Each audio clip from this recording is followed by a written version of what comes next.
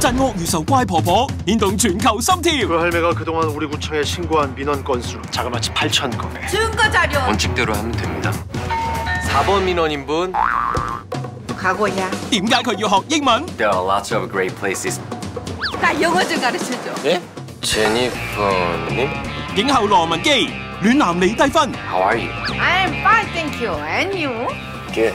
一月十八日不能說的故事。